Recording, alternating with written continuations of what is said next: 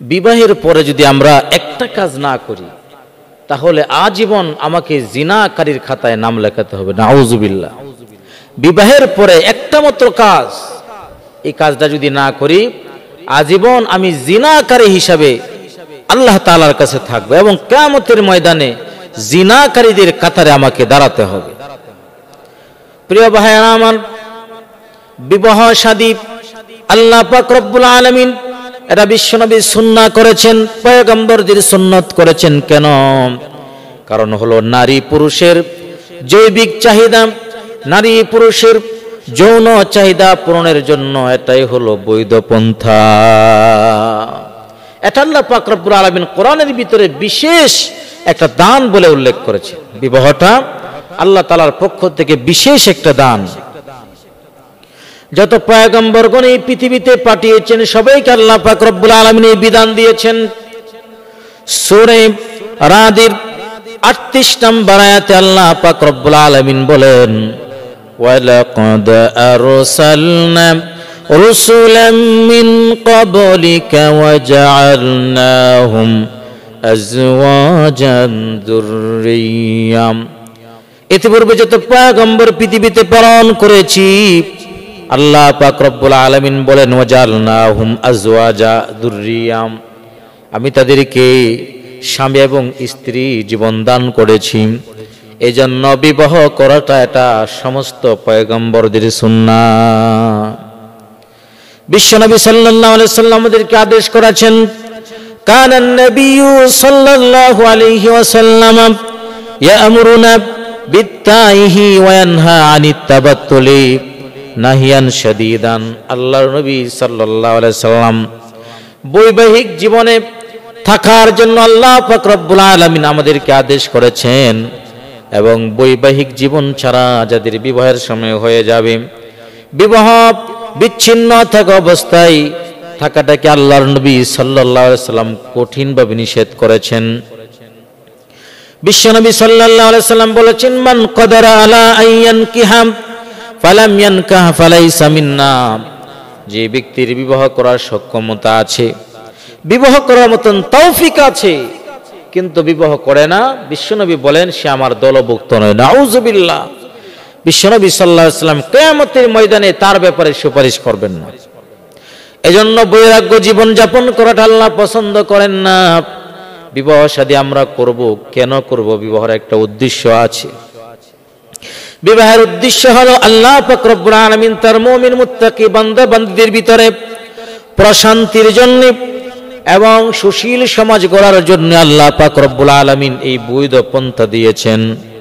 কারণ এই পৃথিবীতে আল্লাহ পাক রব্বুল আলমিন মানব এবং মানবিক প্রজনন হিসেবে আল্লাহ পাক রব্বুল আলমিন স্বামী স্ত্রীর জীবন দান করেছেন। এর দ্বারাতে এই পৃথিবীতে মানব সৃষ্টি হবে।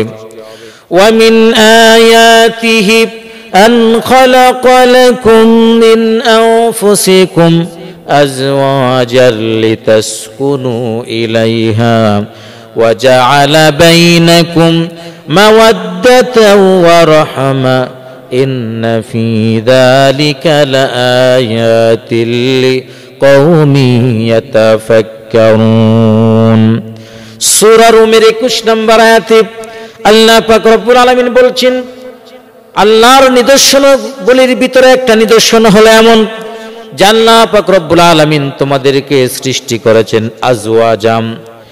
আজওয়াজাম, আল্লাহ পাক রব্বুল আলামিন স্বামী স্ত্রী হিসাবে কেন? রিতাস কোন ইলাইহা, যেন তার থেকে তোমরা প্রশান্তি নিতে পারো। তোমরা যেন তোমাদের স্ত্রী থেকে প্রশান্তি নিতে পারো। স্ত্রী থেকে প্রশান্তি নেওয়ার জন্য অন্তরের শান্তি হাসিল করার জন্য আল্লাহ পাক রব্বুল আলমিন এই ব্যবস্থা করেছেন। এবং উভয়ের মধ্যে স্বামী স্ত্রীর ভিতরে আল্লাহ পাক রব্বুল আলমিন বন্ধুত্ব এবং স্নেহ প্রীতি দান করেছেন। দুইজন বন্ধু, একজন আরেকজনের বন্ধু। একজন আরেকজনের প্রতি স্নেহ করবে আরেকজনের সম্মান করবে। আল্লাহ পাক রব্বুল আলমিন এই প্রীতি, সম্প্রীতি আল্লাহ দুইজনের ভিতরে দান করেছেন। অন্য আয়াতের ভিতরে সুরে বাকারা একশত সাতাশি নম্বর আয়াতে আল্লাহ পাক পরিষ্কার করে দিয়েছেন তাদের সম্পর্কটা কেমন হবে? হুন্না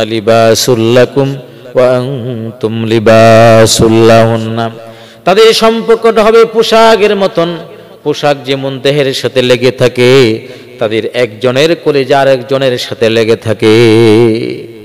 আল্লাহ পাক রব্বুল আলামিন পোশাকের মতন তাদের জীবনটা দান করেছেন। সুতরাং বিবাহ করাটা আল্লাহ তালার পক্ষ থেকে একটা বিধান, সমস্ত পয়গম্বরদের সুন্নাম এই বিবাহটা কখনো কারোর জন্য ফরজ হয়ে যায়। এই বিবাহটা কারোর জন্য ওয়াজিব হয়ে যায়। এই বিবাহটা কারোর জন্য সুন্নত হয়, আবার বিবাহটা কারোর জন্য হারাম হয়ে যায়। আমাদের কি বুঝতে হবে?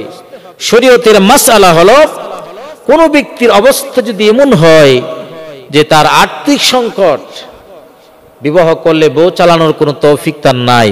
কিন্তু তার বেবিচারে লিপ্ত হওয়ার আশঙ্কা হয়ে যায়, ওই অবস্থায় ওই ব্যক্তির রোজা রাখাটা তার জন্য জরুরি। এই ব্যক্তির জন্য রোজা রাখা জরুরি। বিবাহ করাটা ফর যদি সামর্থ্য না থাকে তাহলে সে রোজা রাখবে। কারণ রোজার দ্বারাতে আল্লাহ পাক রব্বুল আলমিন যৌন চাহিদাটাকে আল্লাহ পাক নিয়ন্ত্রণে রাখেন। আর দ্বিতীয় শ্রেণির হলো শরীয়তের পরিভাষায়। যদি এমন হয়, তার খরচ বরণ পোষণ চালানোর ক্ষমতা আছে, তৌফিক আছে। কিন্তু বেবিচারের ভিতরে লিপ্ত হয়ে যাওয়ার সম্মুখীন হয়ে যায়, বিবাহ না করলে ওই অবস্থায় তার বিবাহ করাটা ওয়াজিব। ওই অবস্থায় তার বিবাহ করাটা ওয়াজিব। দেখা যায় সামর্থ্য আছে, বিবাহ করতেছে না। অনেক যুবকের এমন আছে, সামর্থ্য আছে, কিন্তু বিবাহ করেন আরও হতে হবে বিল্ডিংয়ের মালিক হতে হবে, এরপরে বিবাহ করবে। এগুলো ঠিক নয়। অনেক সময় দেখা যায়, তখন তার যৌন চাহিদা কন্ট্রোল করতে পারে না, গুনাহের ভিতরে লিপ্ত হয়ে যাওয়ার আশঙ্কা হয়, তখন সে অবস্থা তার উপরে বিবাহ করাটা ওয়াজিব হয়ে যায়। তিন নম্বর হল কোন ব্যক্তির অবস্থা এমন স্বাভাবিক পর্যায়ের, তার গুনাহের ভিতরে লিপ্ত হওয়ার কোনো আশঙ্কাও নাই। সামর্থ্য আছে, বিবাহের বয়স হয়েছে। ওই ব্যক্তির উপরে বিবাহ করাটা সুন্নাম আর যদি এমন অবস্থা হয় যে বরণ পোষণ চালানোর মতন কোনো ক্ষমতা নাই বরণ পোষণ যদি চালাতে হয়, তাহলে অসৎ উপায় অবলম্বন করতে হবে। তাহলে ওই ব্যক্তির জন্য বিবাহ করাটা হারাম হয়ে যায়। ওই ব্যক্তির জন্য বিবাহ করাটা হারাম হয়ে যায়। প্রিয় ভাইরা আমার তাহলে বিবাহটা জানতে পারলাম। আল্লাহর একটা বিশেষ দান। সমস্ত পয়গম্বর গণের সুন্নত, মুমিনের অন্তরের প্রশান্তি ইমান থেকে বাঁচার একটা মাধ্যম। কিন্তু বিবাহের ক্ষেত্রে এমন একটা কাজ আমাদের করা যাবে না। যে কাজটা যদি আমরা, যে কাজটা যদি আমরা করি, তাহলে আল্লাহ পাক রব্বুল আলমিন আমাদের বিবাহটা বৈধ করবেন। কাজটা যদি না করি, তাহলে বিবাহটা হারাম করে দেবেন।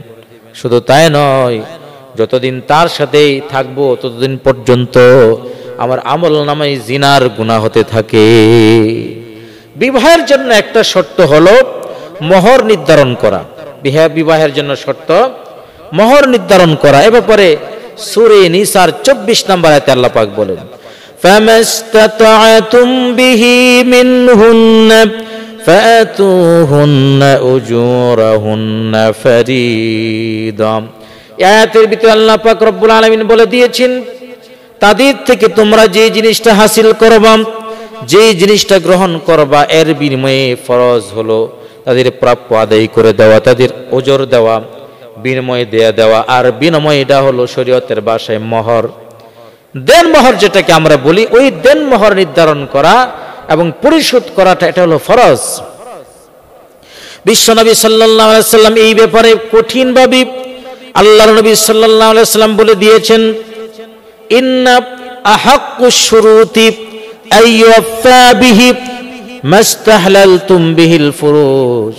তোমরা তাদের যৌনাঙ্গের মালিক হয়ে যাও যেই কারণে।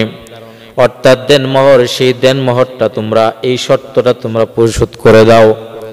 বিবাহের ফরজ শর্ত যেটা দেন মহর, সেটা তোমরা পরিশোধ করে দাও। বিশ্বনবী সাল্লাহ সাল্লাম দেন মহরের কিছু অংশ হলেও পরিশোধ না করে স্ত্রীর কাছে যাওয়াটাই আল্লাহ নবী সাল্লাহ সাল্লাম নিষেধ করে দিয়েছে হজরতে আলী রাদি আল্লাহ তালাহুর সাথে যখন ফাতেমাতুজহরা রাদি আল্লাহ তালানা তার যখন বিবাহ হয়ে গেল, কিছু পরিশোধ না করে তিনি যখন তার কাছে যাওয়ার জন্য প্রস্তুতি নিচ্ছিলেন তখন আল্লাহর নবী আলাইহি সাল্লাম থেকে মানা করলেন। মানাহু শাইআন, কিছু দেওয়ার ছাড়া নবী তাকে তার স্ত্রীর কাছে যেতে নিষেধ করলেন, বারণ করলেন। তার মানে হলো, মোহর নির্ধারণ করতে হবে, মোহরের কিছু অংশ হলো তাকে দিয়ে এরপরে তার সাথে তার সাথে বাসর করতে হবে, আর আগে বাসর করা যাবে না। অথচ আজকে দেখা যায় নাইনটি নাইন আমাদের ধারণা হলো, মোহর শুধু নির্ধারণ করাটা দিতে হবে না। মোহর দিতে হবে না, এমন যদি কারও মন মানসিকতা থাকে, ইচ্ছা যদি না থাকে, যেটা শুধু একটা ফ্যাশন হিসেবে ধরলাম, এটা তো আর দিতে হবে না। এমন যদি আকিদা, বিশ্বাস থাকে, তাহলে যতদিন পর্যন্ত ওই স্ত্রীর সাথে সংসার করব, এই সংসারটা হারাম হবে এবং একটা জিনার গুণা হবে যেগুলো সন্তান হবে, প্রত্যেকটা সন্তান যারা সন্তান। অথচ এই জিনিসগুলো থেকে আমার ভূক্ষেপ করি না। এই যে মহর একটা শর্ত, এই শর্তটা যদি আমরা পালন না করি, যতদিন জীবন যাপন করব, তার সাথে হারামভাবে জীবন যাপন করব। এজন্য এই মহর নির্ধারণ করতে হবে এবং মহর পরিশোধ করতে হবে। দেখা যায়, বিবাহের দিন আমরা কিছু পরিশোধ করলাম পরবর্তীতে তার থেকে ডেট নিয়ে নিতে হবে যে সময়ে তোমাকে পরিশোধ করে দেব। দেখা যায় আজকে মহর নির্ধারণ করে দশ লাখ, পনেরো লাখ দেওয়ার কোনো তৌফিক তার নাই। এ ধরনের মহর নির্ধারণ করতে বিশ্বনবী নিষেধ করেছেন। মুহূর্ত হবে যতটুকুন ওই বেচারা পরিশোধ করতে পারে। ওই পুরুষ স্বামী বেচারা যতটুকুন পরিশোধ করতে পারে, তার সক্ষমতা আছে, ততটুকুন পরিমাণে মহর নির্ধারণ করতে হবে। নির্ধারণ করতে হবে পরিশোধও করতে হবে। এ ধরনের ধারণা যেন অন্তরে না থাকে, যেটা আমার পরিশোধ করা যাবে না বা পরিশোধ করতে হবে না। অনেক সময় দেখা যায়, আমরা এই ধারণা করার কারণে বা অনেক সময় দেখা যায়, স্ত্রীর কাছে আমরা মাপ চেয়ে নিই। একটা জিনিস মনে করতে হবে, এটা মাপ চাইলে হয় না। স্ত্রী ইচ্ছা করলে কোনো অংশ মাফ করতে পারে। হাদিসে অনুমতি আছে। তবে একেবারে পুরোটাই মাফ করে দিতে নিষেধ করেছেন। মানা করা হয়েছে, একেবারে পুরোটাই যেন মাফ না করে কিছু যেন রেখে দেয় কারণ পরবর্তীতে তার হাজত হতে পারে, প্রয়োজন হতে পারে। তবে সেটা তাকে দেওয়ার পরে, হস্তান্তর হওয়ার পরে। আপনার কোনো জমিন যদি আপনি রেজিস্ট্রি না করেন, তাহলে আরেকজনের কাছে আপনি নিজে মালিক হয়ে বিক্রি করবেন কীভাবে? এজন্য রেজিস্ট্রির মতন, অর্থাৎ যদি জমিন থাকে, জমিনটা তাকে রেজিস্ট্রি করে দিতে হবে। যদি টাকা টাকা হয়ে থাকে, তাহলে ওই টাকাটা তাকে বুঝিয়ে দিতে হবে। টাকাটা যদি আপনি বুঝিয়ে দেন বুঝিয়ে দেওয়ার পরে, এরপর যদি আপনাকে কোনো অংশ দান করে, আপনাকে দিয়ে দেয়, পুরোটা অংশই দিয়ে দেয়, তাহলে কোনো সমস্যা নাই। কিন্তু তার জিনিস তার কাছে বুঝে না দিয়ে আগেই মাপ চা নিলেন, এই মাপ শরীয়তে হবে না। এজন্য এই একটা জিনিসের দিকে লক্ষ্য রাখব, বিবাহের সময়। এই জিনিসটা যদি আমাদের ঠিক না থাকে, পুরো সংসার আল্লাহ পাক রব্বুল আলমিন তসনস করে দেবেন, ধ্বংস করে দেবেন। এজন্য এই মহরটা নির্ধারণও করব পরিশোধ করব। আল্লাহ পাক রব্বুল আলমিন আমাদের সবাইকে বুঝার এবং আমল করার তৌফিক দান করুন। আমরা সকলে পড়ছি, আমিন।